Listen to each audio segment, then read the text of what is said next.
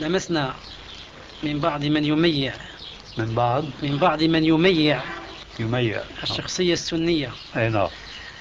أنه يأتي بقاعدة كثيرا ما جعلت طلاب العلم ضحايا للأفكار الهدامة مم. والعواطف الخطافة.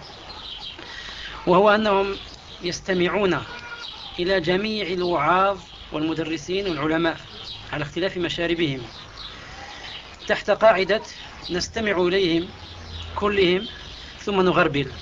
فما مدى صحة هذا الكلام؟ طبعا أنا حديثي عن أمثالنا ممن هم دون طلبة العلم. جزاكم الله خيرا. حديثك عن طلبة العلم. أو دونهم طبعا. أو دونهم. نعم. أنا جوابي على هذا بإيجاز. إذا كانوا يعتقدون في أنفسهم أن الغربال تحت أيديهم فليفعلوا.